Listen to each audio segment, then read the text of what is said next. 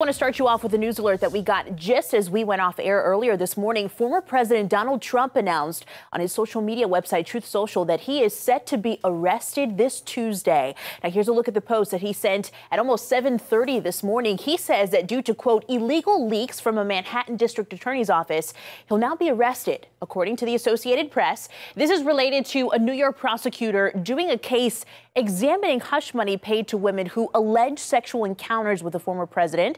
Trump provided no evidence that suggested he was directly informed of a pending arrest and did not say how he knew it would happen. So we'll keep you updated there.